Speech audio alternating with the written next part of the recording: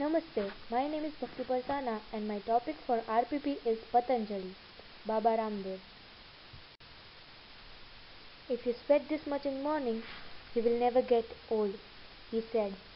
Ramdev was born on 25th December to Ram Yadav and Gulabu Devi in Haryana.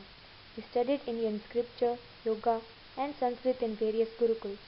Earlier, he gave free yoga training to people in Gurukul. Then he established Divya Yoga Trust. He was soon featured by Aastha TV in its morning yoga slots. He gained a huge following worldwide.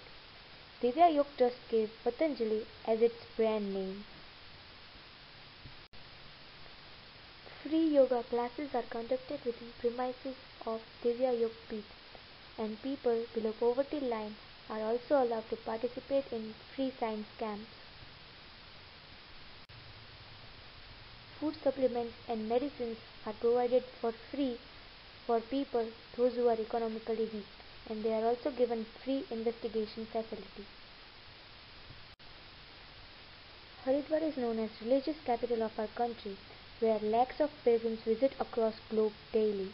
Some of them also belong from poor sections of society and Maharishi Valmiki Dharamshala provides them lodging facilities and it is spread across 86,000 square feet. Adjacent to Maharishi Valmiki Dharamshala, there lays Sant Ravidas Langar, which is spread across 23,600 square feet, and here almost 5,000 people have meal every day. Free transport facilities are also provided to patients as well as visitors who are visiting Patanjali Yoga Peeth. Yes, 2000 crores. And that's not what I expect from a guy who doesn't wear shirt no matter wherever he goes. Ramdev's Patanjali makes people living in air-conditioned offices of multinational FMCGs sweat. Here's why. Just look at turnover numbers. It seems like a business trajectory what you'd expect from Bruce Wayne. 2012, 450 crores, followed by 850 crores in 2013, 1200 crores in 2014, and it is expected to be 2000 crores in 2015, which will be a jump of 67% from previous year. They are taking over every FMCG category. You name it and they are in it starting from soaps, shampoos, dental care, balms, skin creams, biscuits, ghee, juices, honey, atta, mustard oil, masala, sugar, and it goes on and on. With Ready Celebrity Baba Ramdev, the company does not have to spend on ads as much as their competitors, and the products are cheaper, making them even more appealing. FMCG biggies spend up to 20 to 30 percent of their sales earnings on ads. After Ramdev was able to strike a deal with Reliance, there was no turning back. Ramdev's Patanjali shops are everywhere, from 150 to 200 dedicated outlets in 2012 to 20 times that in 2015. He has taken over Aam Retail.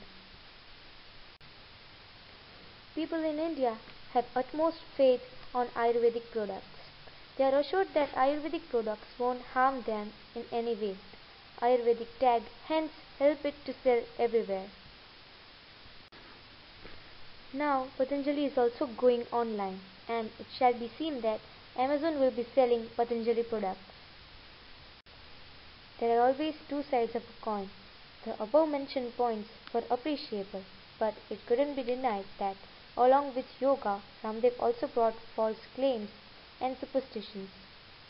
He claimed that AIDS could be cured with intake of his medicines and by doing his yoga. Soon he was sent a cease and desist order by Indian Union Health Ministry to stop his false claims. Ramdev believed that homosexuality is not natural and it is our sick mentality and it was not allowed according to Vedic culture. He also said that it was a disease and it could be cured with intake of his medicines and by doing his yoga asanas. Soon he was accused by people to stop these superstitions. Thank you.